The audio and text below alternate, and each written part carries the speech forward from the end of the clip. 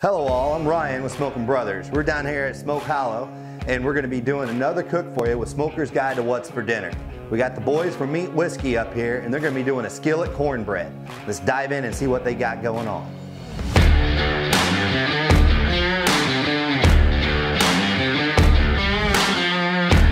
Hey guys, Brian from MW Smokers here. Today we're gonna do a skillet cornbread with a little twist to it. Uh, we're gonna start out with some smoked hot sausage. We just put that in a skillet on the Smokin Brothers for about 20 or 30 minutes, browned it up. Then we're gonna do some diced jalapenos, a farm fresh egg, some diced onion, a cup of flour, bacon grease, a cup of cornmeal, a can of cream corn, a cup of buttermilk, and we're gonna mix in some of this Stackhouse rub. Uh, in addition to that, while we do this mixture, we're gonna have a skillet preheating on the Smokin Brothers 425 to get started. Okay, we're gonna start out this recipe, very, very simple here. We're just gonna add a cup of flour, then we're gonna add a cup of cornmeal, then we're gonna add a cup of buttermilk, a can of cream style corn, about another handful of pre-smoked hot sausage, another handful of diced jalapenos. We're gonna add our about a handful of diced onion. If you're uh, going on a date, you might wanna back off on that a little bit. One egg. We're gonna put all that together and add about a half a cup, half a cup of bacon grease. I need some help opening this. Wayne, come on over here. I got, Open that bacon grease for me while I pour. Can you, give, can you give us about a half a cup of that?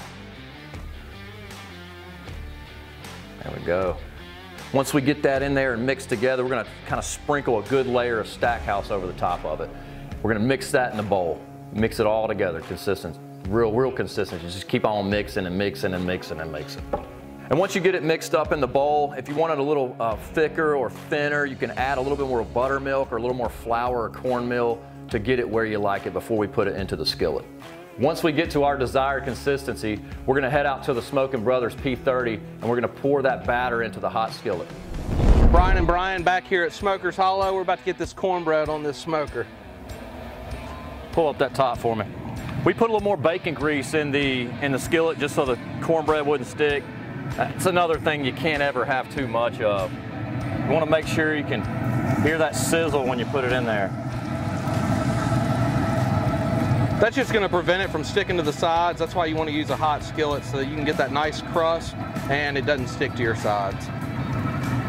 Man, that's going to be good. About 20, 25 minutes, it's going to be right.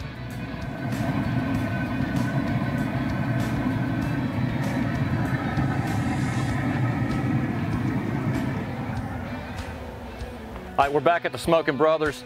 Cornbread's been on about 25 minutes. I think she's right. Let's check it.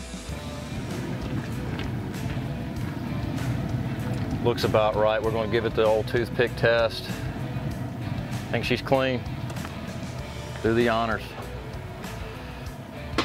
That excess grease will soak in as it cools. Be perfect. Okay, so we're back inside with the skillet cornbread pretty much a done deal at this point. All we gotta do is dump it and slice it. You ready? Go for it, man.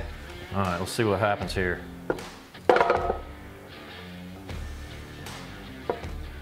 Look at there, it's, it's there. Mm, nice and pretty. So now it's pretty much a meal in itself. We've got all this, we've got all our fixings in there. A little crunch on the outside.